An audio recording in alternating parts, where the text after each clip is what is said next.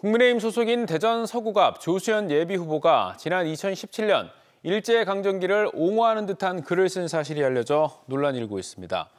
조 후보의 해당 글에는 일본은 고양이, 조선은 생선이었고 생선이 된 스스로를 한탄하고 반성해야 한다는 내용이 담겨 있었으며 조 후보는 논란이 확산되자 SNS를 통해 과장된 표현이었다며 깊이 반성하고 있다는 입장을 밝혔습니다.